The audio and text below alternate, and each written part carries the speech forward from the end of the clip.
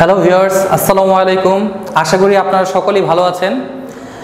তো আমি এই ভিডিওতে আমি আলোচনা করতেছি বিন্যাস সমাবেশ নিয়ে। আপনারা অবশ্যই ফার্স্ট পার্টটা দেখে আসেন এবং যদি না দেখে থাকেন, অবশ্যই ফার্স্ট পার্টটা দেখবেন। কারণ ফার্স্ট পার্টের ভিতরে আমি কোশ্চেনগুলি নিয়ে আলোচনা করেছি।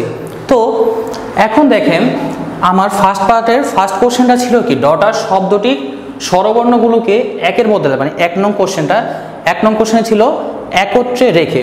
তো একত্রে রেখে কতভাবে পুনর্বিন্যাস করা যায়? একত্রে রেখে ঠিক কতভাবে পুনর্বিন্যাস করা যায়? তো এখন আমি আসি অ্যান্সারের ক্ষেত্রে। তো সলিউশন আমি সলিউশন নিয়ে এখন কথা বলি। আমার ডটার শব্দটা আমি লিখলাম। ডটার শব্দটা ওয়ার্ড ওয়ার্ডের ভিতরে বর্ণ কয়টা? বর্ণ হচ্ছে আটটা। D A U G S T E R total আটটা বর্ণ। এখন আমার বলছে স্বরবর্ণগুলোকে একত্রে রাখতে। এখানে স্বরবর্ণ আছে কয়টা? স্বরবর্ণ আছে তিনটা। স্বরবর্ণগুলো কি কি? স্বরবর্ণ হলো হচ্ছে এ, ই, ইউ। এখন বলছে কি, আমাকে এমনভাবে বিন্যাস করতে হবে যাতে স্বরবর্ণগুলো কীভাবে থাকে? তারা একত্রে থাকবে। মানে কি? A, E, U. এরা কীভাবে থাকতে হবে? অবশ্যই একত্রে থাকতে হবে তিনজন। তো আমি এ, ই, ইউকে একত্রে রাখলাম। তো আমি এটাকে এখন বিন্যাস করব। তো এরা যখন একত্রে থাকবে, আমি ধরে নিলাম যে এই একত্রে তারা যখন থাকবে, এরা একটা গুচ্ছ। এরা আসলে কি তারা একত্রে যখন থাকবে, এই একত্রে থেকে কি তারা চিহ্ন চেঞ্জ করতে পারবে? যেমন ইটাকে এখন কি এর মাঝে আসতে পারবে? আসা পসিবল না। কারণ কি এ ই ইউ এখন তারা একত্রে থাকবে মানে তারা একটা কি? গুচ্ছ আকারে থাকবে। তো বলছে, এখন যদি আমরা এদেরকে বিন্যাস করি, বিন্যাস করতে গেলে কি হবে? এখন এই তিনটা জিনিস কি কখনো আমি ওদেরকে কি এখানে আনতে পারব? কি এ কে কিংবা ই কে কিংবা ইউ কে? তো তাদেরকে যেহেতু লাড়ানো চালানো যাবে না, তারা এখানে কি থাকবে? তারা তিনজন একসাথে ফিক্স থাকবে। তো তাদের তিনজনকে আমি একটা কি? বর্ণ ধরতে পারি না। তো তিনজনকে যদি এখন বর্ণ ধরি, তাহলে আমার এখন টোটাল বর্ণ হলো কয়টা? একটা, দুইটা, তিনটা, চারটা, পাঁচটা, ছয়টা। তো ছয়টা বর্ণ। তো এই যে তারা যে তিনজন একত্রে আছে, তিনজন একত্রে তারা অন্যভাবেও থাকতে পারতো। কীভাবে?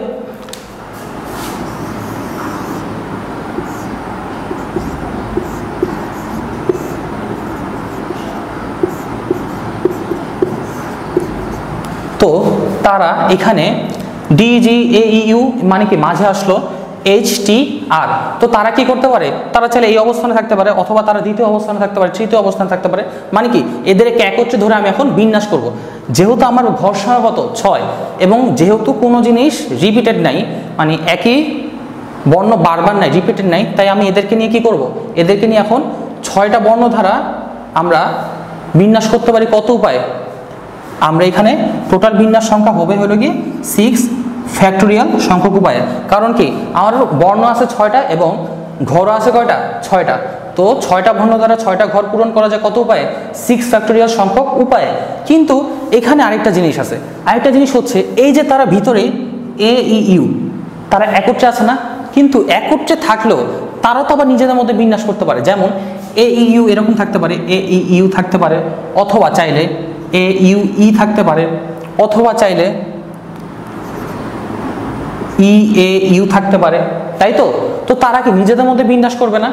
তো তারা যেহেতু নিজেদের মধ্যে বিন্যাস করবে, কয়টা অক্ষর আছে? তিনটা বর্ণ। তো তিনটা বর্ণ নিজেদের মধ্যে বিন্যাস করতে পারে ঠিক কত উপায়ে? তারা তিনজন পারে হলো গিয়ে থ্রি ফ্যাক্টোরিয়াল উপায়ে। তো তারা গুণ হবে থ্রি ফ্যাক্টোরিয়াল গুণ হলো কেন? কারণ ঘটনা কি? কানেক্টেড একটার সাথে আরেকটা ঘটনা কানেক্টেড কানেক্টেড ঘটনার ক্ষেত্রে অবশ্যই গুণ হবে। Six factorial into three factorial এখন যেহেতু আমি বলছি কি এখানে, কত উপায়ে পুনর্বিন্যাস করা যায়? পুনর্বিন্যাসের ক্ষেত্রে আমরা কি করব? পুনর্বিন্যাসের ক্ষেত্রে আমরা সবসময় বলেছি নতুন উপায় বিন্যাস করা। নতুন উপায় বিন্যাসের ক্ষেত্রে কি করব? এই যে আমার ডটা শব্দটা আছে, যেটা দেওয়া আছে ডটা শব্দ, এই শব্দটা খালি কি একটা উপায়? বিয়োগ যাবে। কয়টা উপায়? একটা। তাহলে বিয়োগ কত হবে?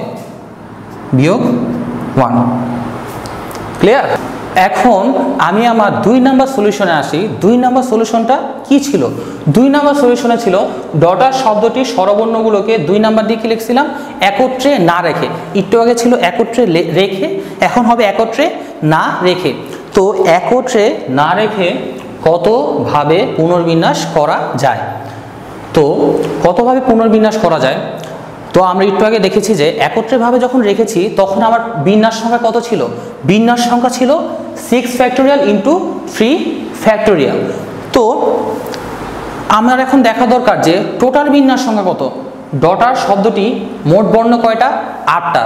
তো আটটা বর্ণ, এখানে যেহেতু একই অক্ষর বারবার নেয়, তো আটটা বর্ণ দ্বারা এখানে আটটা অক্ষর পূরণ করা যাবে ঠিক কত উপায়ে?